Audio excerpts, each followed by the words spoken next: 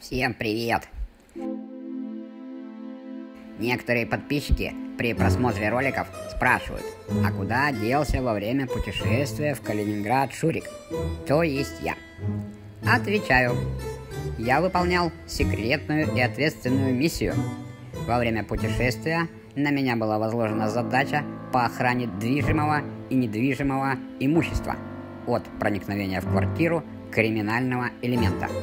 Мне было выдано ружье с оптическим прицелом, и так как я могу совсем не спать, я нес круглосуточное дежурство. Ну а сейчас посмотрите небольшой ролик. На ВДНХ готовилась выставка ретро-автомобилей –